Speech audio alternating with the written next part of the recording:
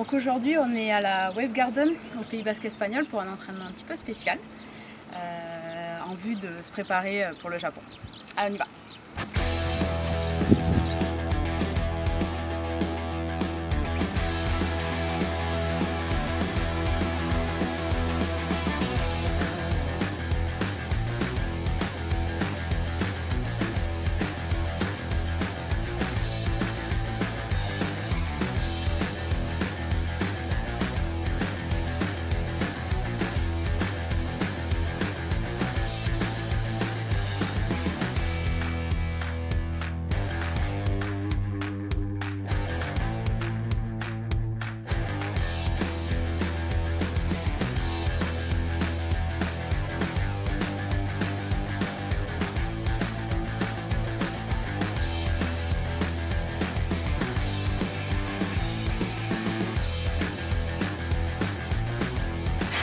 Donc là j'ai pu faire euh, plusieurs sessions en changeant de planche à chaque fois pour pouvoir les comparer.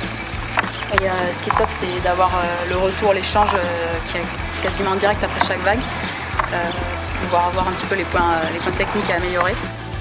Avoir la chance d'avoir cette répétition de vagues qu'on a rarement dans l'océan permet de, progresser beaucoup plus vite et bah, je pense que c'est un vrai, un vrai outil, un vrai atout pour, pour, progresser tout simplement et, et ensuite être plus performant euh, en compétition.